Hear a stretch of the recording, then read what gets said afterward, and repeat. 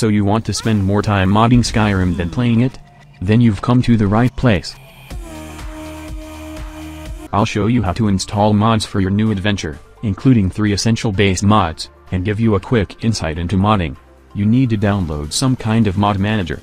I'll be using Mod Organizer 2 because it's basically the god of mod managers. To get it, open your internet browser and go to Nexus Mods, link is in the description. This is your gold mine for mods. The first thing you need to do is make an account. Click register in the top right corner and create your account. Every 5-year-old can nowadays register on free Robux sites so you can do it too. Once you are logged in, select the game you want to mod. There you have all the mods for Skyrim SE. See, I told you it's a gold mine. Click the search bar type mod organizer 2, click on it and it will redirect you to the mod page. Every mod has this page with its description, images, and videos. Click on the files and download one of the two main files. I prefer the archive version so I will download it. There is no difference between the two files, this one is just extract and go while the other one has exe installer. Once it's downloaded, store it somewhere on your PC, but not on desktop like I did, it may cause problems, extract it and you are Gucci. Now you can delete that 7-zip file. Open the extracted folder and find modorganizer.exe. You can make a desktop shortcut so you don't have to search for it on your computer every time you want to make a woman's boobs larger or bouncier. Launch the mod manager. Since it's your first time, you will be jump scared by this window.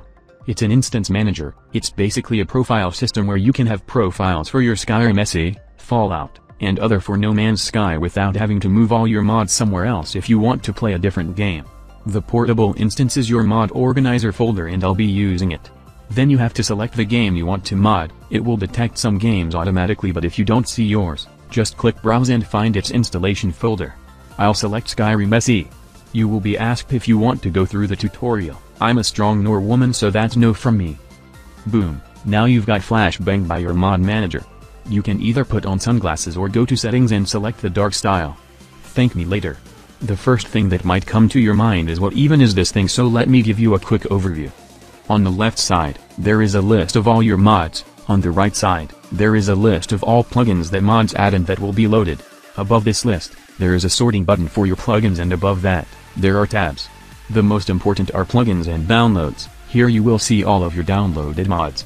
At the top, there are useful buttons but you will use like two of them. The first one is for switching instances, the second is for installing mods, the third opens Nexus mods and the last one is the settings tab.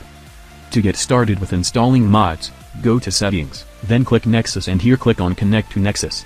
It will open your browser. Click the authorize button. Then you can close this tab. Head back to Mod Organizer and click Associate with Download with Manager links. Hit OK. If asked, restart Mod Organizer.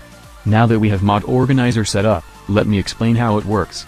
Your mods will be stored in a folder outside of your Skyrim directory and every time you start the game, they will be moved from that folder into Skyrim. This means two things. To play with mods, you need to launch the game from Mod Organizer. The advantage of this is that your game directory stays mod-free in case of any issues. Now what we want to do is download Skyrim Script Extender aka SKSE but before that, let me show you how to download mods. Go to Nexus Mods and here you can either search for mods or scroll down and browse for them under more mods. You can also see mod categories and filters. I suggest going to popular mods, all time, and looking here.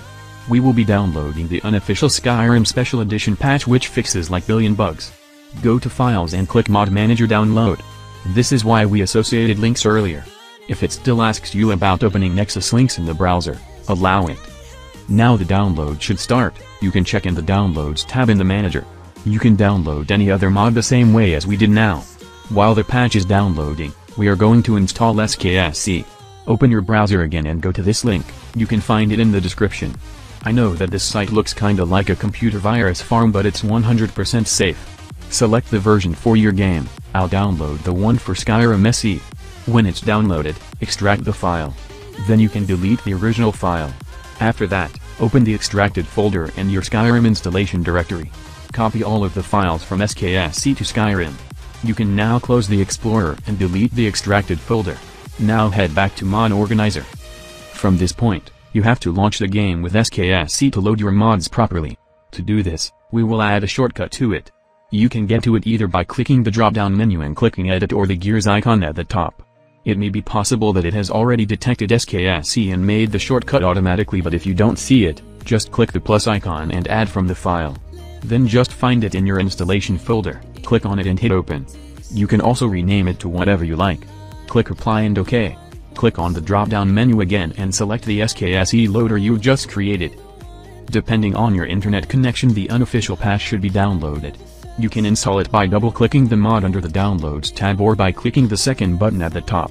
Navigate to your mod organizer folder into the Downloads folder. Click on the mod and hit open. A small window will pop up. Here you can select the display name of the mod from the drop-down menu or give it your own. Click OK to install the mod. The mod should be shown in a list of mods. By default, it's disabled. To activate it, tick the box next to the mod. As you can see, the mod is active and a new plugin was added. The other two mods that I recommend are Sky UI and Realm of Lorkhan. When you download mods, check its description for more info and dependencies. Here you can see that Sky UI is dependent on the script extender we installed earlier. The last thing I want to show you is overriding. Remember that not every mod adds plugins, for example textures. There is a chance that two mods change the same texture. This is where overwriting comes to play. There is one rule.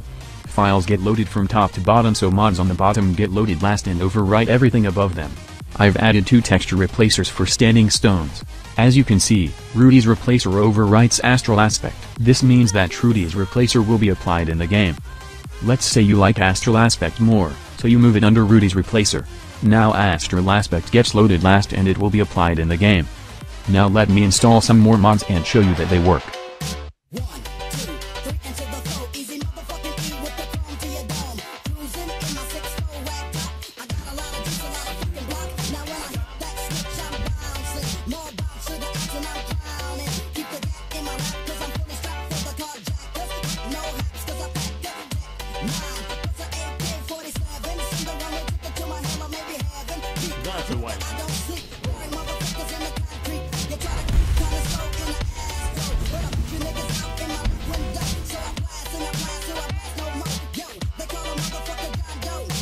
Witness to murder,